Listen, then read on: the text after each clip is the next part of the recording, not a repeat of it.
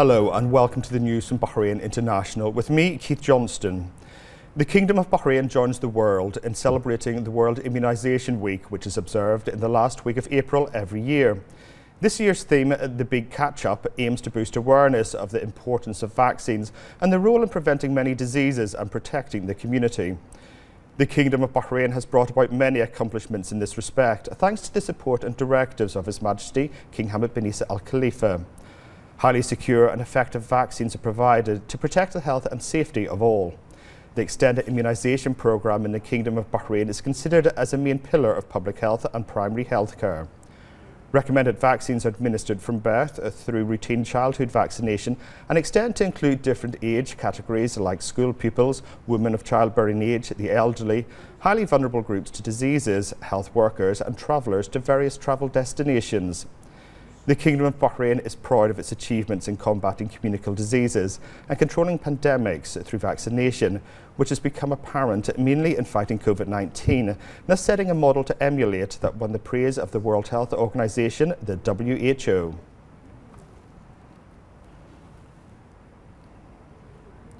The Seaports Customs Department at the Customs Affairs thwarted a smuggling of narcotic substances, which were stuffed inside a shipment of potatoes contained a container from an Asian country. The Drug Control Directorate of the General Directorate of Crime Detection and Forensic Evidence formed a security team, which moved to the site and initiated the necessary security and legal measures where physical evidence proved the presence of more than 33 kilograms of narcotic hashish and shabu, with an estimated market value of about 700,000 dinars inside the potato shipment.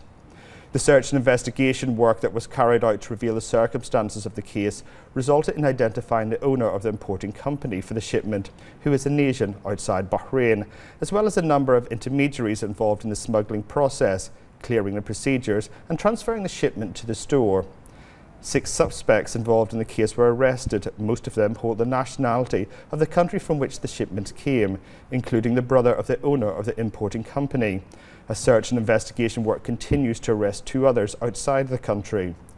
The General Directorate of Crime Detection and Forensic Evidence has taken the prescribed legal measures and referred the case to the public prosecution.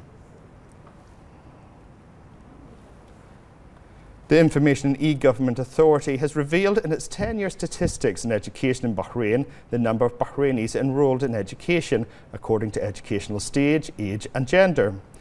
Statistics showed that the number of students enrolled in education in 2020 reached 237,444 male and female students. The statistics showed that the number of males enrolled in education is more than females from pre-primary to preparatory stage. Thus, the number of females enrolled in education is more than males from the secondary level to postgraduate studies, indicating that the males enrolled in postgraduate studies amounted to 974 compared to 1,126 females enrolled in postgraduate studies. The statistics showed that the largest number of those enrolled in education, according to age, are from 6 to 11 years, as their numbers reached 88,137 of both sexes. The statistics also showed that those aged 30 years and over are the lowest by 3,228 of both sexes. The Kingdom of Bahrain continues to invest in the human element in all fields, especially in the tourism infrastructure, represented in the Vatel College of Hospitality, due to its specialised national cadres that have contributed to supporting various tourism projects and supporting the Kingdom's vision 2030. In line with the goals of the comprehensive development process led by His Majesty the King, Bahrain has become a model in the field of hospitality and tourism that achieves tourism goals in line with the plans of the government, headed by His Royal Highness the Crown Prince and Prime Minister, to support the national economy and highlight its position as a global tourism centre. The Vatel Bahrain International Hospitality School has become one of the distinguished projects that enrich the national economy and highlight the Kingdom's position as a global tourism centre.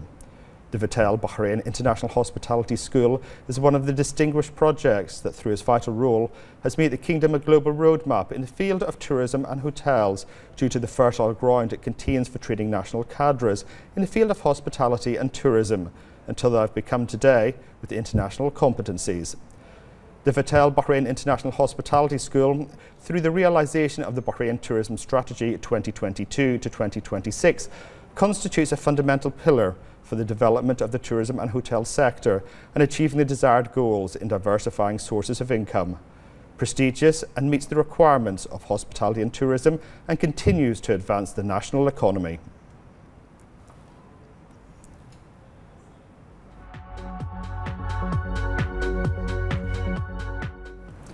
UAE Foreign and International Cooperation Minister Sheikh Abdullah bin Zayed Al Nahyan telephoned his Saudi counterpart Prince Faisal bin Farhan Al Saud, praising the successful evacuations by Saudi ships of UAE citizens and other citizens from sisterly and friendly countries from Sudan to Saudi Arabia.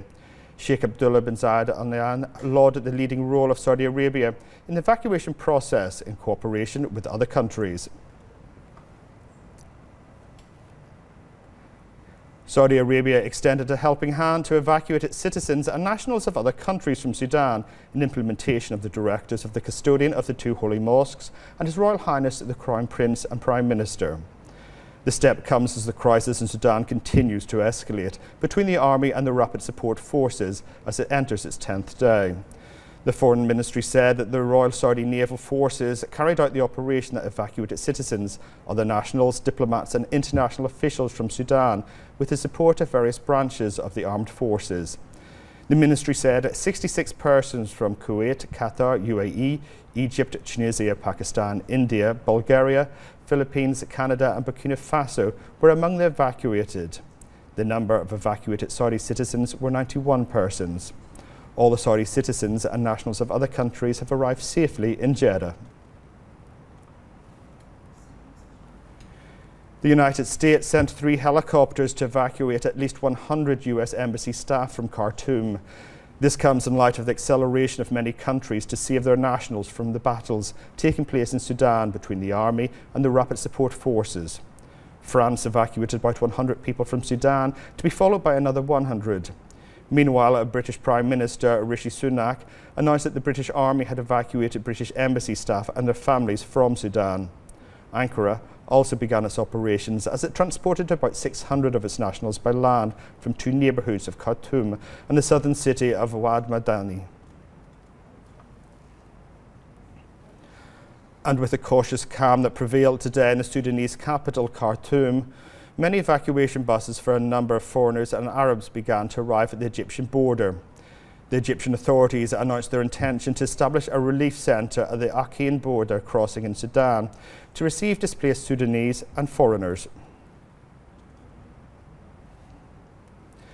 The European Union again urged a ceasefire in Sudan. The European Union's foreign policy chief, Josep Borrell from Luxembourg, said prior to a EU foreign ministers meeting that the international community cannot allow Sudan to explode because that would affect the entire region.